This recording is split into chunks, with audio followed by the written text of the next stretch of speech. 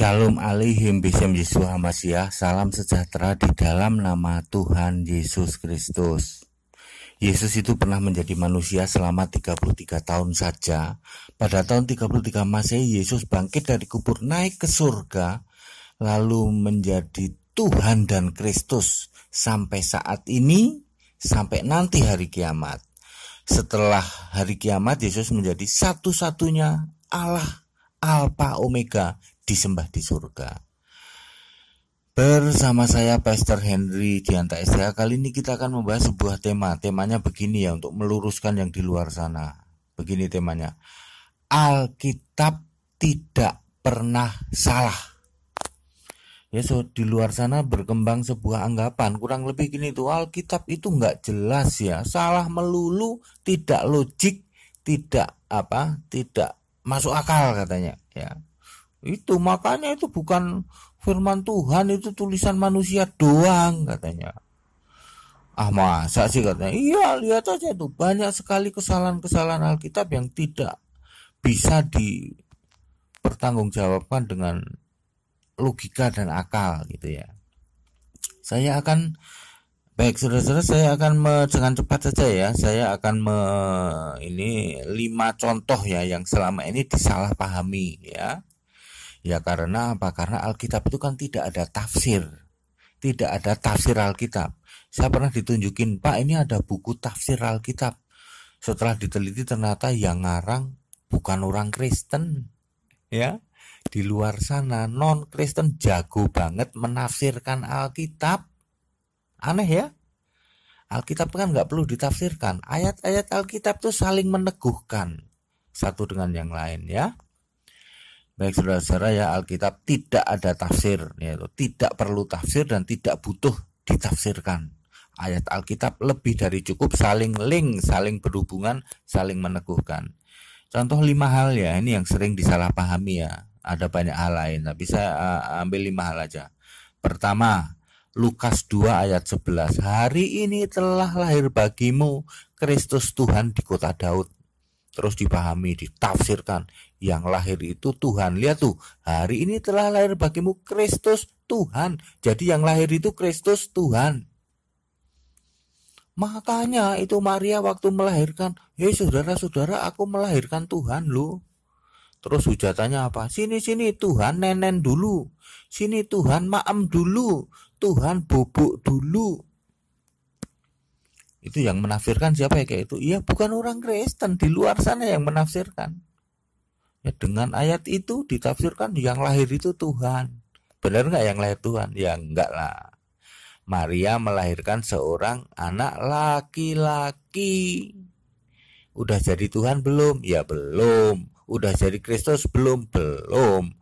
Lah kapan jadi Tuhannya nanti setelah bangkit dari kubur saat disalib itu kapan jadi Kristusnya? Ya nanti setelah bangkit. Ya di kisah 2 ayat 36 maka Tuhan membuat Yesus itu menjadi Tuhan dan Kristus setelah bangkit dari kuburnya. Ya itu kesalahan pertama. Udah jelas ya? Wah kalau gitu yang suka nafsirkan salah dong. Lah ya dari dulu udah ketahuan salah kok. Pinternya nafsirkan Alkitab loh. Alkitab tuh nggak ada tafsir ditafsirkan sendiri bukan Kristen nafsirkan Alkitab. Kan aneh ya. Contoh kedua uh, di dalam Matius 26 ayat 39 Yesus iya iya itu Yesus maju sedikit lalu sujud dan berdoa ya Allahku ya Bapa. Dia berdoa kepada Allah Bapa. Terus ditafsirkannya gini Yesus sujud dan berdoa tuh Yesus sembahyang kayak kami loh katanya Makanya tak kasih tahu, Yesus itu menyembah Allah dan Yesus itu sembahyang kayak kami. Yesus seiman. Malah ngomong Yesus seagama dengan kami. ya lucu nggak? Lucu kan? Siapa yang yang menafsirkan begitu? Ya dia sendiri. Dia menafsirkan kayak begitu. Yesus maju sedikit, sujud berdoa kepada Allah. Makanya Yesus itu seiman, Yesus itu sembahyang. Benar nggak Yesus sembahyang? Betul, sembahyang apa? Sembahyang Yahudi. Ya gitu ada ruko, ada sujud. Ya. Terus Yesus berdoa kepada siapa? Kepada Allah. Loh kok Allah berdoa kepada Allah? itulah yang mereka tafsirkan Yesus kan sedang jadi manusia kalau dia nggak berdoa kepada Allah malah lucu ya mereka menafsirkan sendiri Tuhan kok berdoa sujud berdoa kepada Allah katanya. Jeruk berdoa kepada jeruk. Itu cara mereka menafsirkan. Itu orang Kristen nggak yang menafsirkan? Bukan. Bukan orang Kristen menafsirkan kayak gitu. Terus dipakai menghujat-hujat gitu dan anehnya penafsiran kayak gini turun temurun loh. Ya saya sudah dengar kayak gini udah uh, puluhan tahun yang lalu. Turun temurun ada bukunya loh. Inilah sekian ratus ayat Alkitab yang mustahil dijawab oleh orang Kristen katanya ya kayak gini salah satunya Yesus sujud, Yesus seiman dengan kami. Bukan Kristen menafsirkan sendiri. Ya, terus mengolok-olok itu. Maaf kata menghujat-hujat. Itu yang kedua. Nah, yang ketiga, contoh yang ketiga ya. Di dalam dua Tawarih 21 ayat 5 langsung disambung lagi nanti ayat 19 ayat 20 dan lain sebagainya itu terus ke bawah yaitu cerita tentang Yuram ya Yuram digantikan oleh Ahasia. Jadi e, ngomong gampangnya gini, Yuram jadi raja ya, terus mati rajanya itu dalam posisi tidak benar. Tidak benar artinya e, tidak sesuai dengan apa hukum-hukum Allah, tidak benar di mata Tuhan. Terus digantikan oleh anaknya namanya Ahasia. Nah, kata dia bahwa anaknya apa tuh lebih tua dua tahun katanya. Ketika Ahasia menggantikan menggantikan ayahnya, eh, Ahasia berumur dua tahun lebih tua dari bapaknya. Ya, mosok anak lebih tua dua tahun dari bapaknya. Ini turun temurun loh pertanyaan ini loh saudara ya. Kalau saudara sudah mengikuti ini ini dari zaman siapa dulu? Yang inisialnya AD itu sudah ada kayak gini. Jadi rupanya pertanyaan-pertanyaan ini ada sebuah buku terus buku itu suka diajarkan ya toh. Suka diajarkan terus akhirnya semua anak-anak muda ya tanyanya pakai buku ini ada sekian ratus pertanyaan yang mustahil dijawab oleh orang Kristen. Ya akhirnya begini saudara kasihan kita tak pikir udah nggak ada ya kan? Sudah banyak yang dijawab ya. Ternyata nongol lagi pertanyaan-pertanyaan kayak gini ya. Ya salahnya di mana? Ya nggak ada yang salah. Masuk Alkitab salah. Lah itu kok lebih tua dua tahun? Ada jeda yang tidak dipahami oleh mereka bahwa nggak langsung raja itu mati langsung hari itu juga digantikan oleh anaknya. Nggak kayak gitu apalagi ini tercatat bahwa raja yang mati itu tidak apa tidak berkenan di mata Tuhan. Orang Israel pasti hati-hati milih raja. Dia nanya dulu sama Allah. Ya nggak sembarangan. Makanya ada jeda. Jedanya ini bisa puluhan tahun tapi tidak ditulis. Maka ada jeda nggak ditulis kayak gitu? Ya nggak mungkin lah ya anak lebih tua dua tahun. Mana ada kayak gitu lah kalau gitu salah tafsir salah tafsirnya di mana lah ya itu anda nggak paham nggak paham budayanya Israel ya toh dipikir maka digantikan oleh anaknya dan berumur sekian. Lalu anaknya lebih tua dong dari bapaknya, lebih tua dua tahun. Ya, men, membaca Alkitab berkali-kali saya menyatakan harus ada Roh Kudus. Kalau nggak ada Roh Kudus ya kayak gini, ya. Asal menafsirkan pakai otak. Berkali-kali saya bilang, nalar manusia, logika manusia, otak manusia tidak akan bisa menyelami Alkitab. Alkitab kadang tidak ditulis itu jeda waktu itu. Dari pemilihan raja yang pertama ke, kemudian pemilihan raja yang kedua tidak di tidak ditulis ada jeda waktu. Tidak itu hanya ditulis lalu itu digantikan oleh ini kita pikir hari itu juga tahun itu juga diganti. Enggak saudara ya. Ya udah jelas ya itu kesalahan nomor tiga yang ini. Jadi tidak ada itu anak lebih tua dua tahun dari bapaknya menggantikan raja. Raja Yuram digantikan Ahasia nggak ada kayak gitu. Ah Ahasia lebih tua dua tahun. Pahami ada jeda waktu yang tidak ditulis di Alkitab. Dan itu memang sudah menjadi budayanya Israel ya jangan menerjemahkan atau menafsirkan sendiri Alkitab. Ada link-link lain sebenarnya kalau anda bisa anda sabar ya loh. Cari terus. Yang jelas pahami bahwa tidak mungkin anak lebih tua dari bapak ya. Contoh lain lagi misalnya ini ada yang bilang gini nih mosok oh 11 tahun punya anak gitu ya ya. Ada di dua raja-raja 16 ya. Itu Ahas umurnya 20 tahun jadi raja 16 tahun terus mati terus digantikan oleh Hizkia umurnya 25 lah berarti 11 tahun sudah punya anak ini juga sama ya ada jeda ya apalagi ditulis itu eh, uh, siapa si Ahas itu tidak benar di mata Tuhan. Kalau tidak benar di mata Tuhan, pasti nanti menggantinya itu diseleksi luar biasa, ada jeda waktu.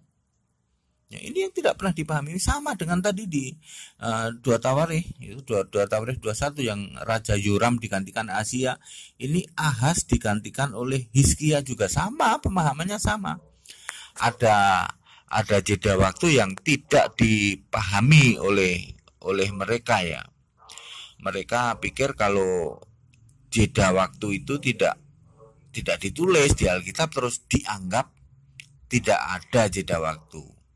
Ada ya saudara ya, saudara-saudara jangan menafsirkan dengan dengan apa? Dengan pemahaman manusia.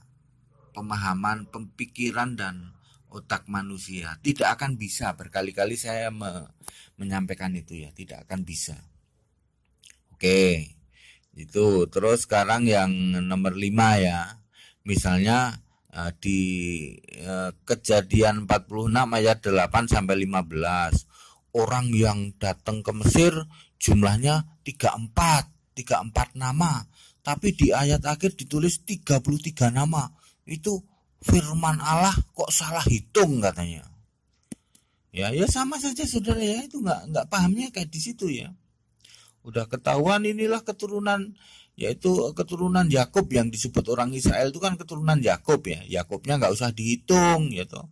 Ruben tambah 4 anaknya jadi 5 Simeon tambah 6 jadi 7 yaitu Lewi tambah 3 anaknya jadi 4 Yehuda tambah 5 jadi jadi 6 tapi yang dua mati di sana jadi jadi 6 kurang 2 cuma 4 Peres tambah 2 anaknya 3 Isakar tambah 4 5 Zebulon tambah 3 4 eh, tambah Dina pas 33 ya Yakobnya nggak usah dihitung ya. Keturunan-keturunan Yakob ya kayak kayak gitulah ya. Kayak gitu ya tuh. Mantep banget loh. Menghujat-hujat luar biasa loh. Tuh hanya orang Kristen salah hitung katanya.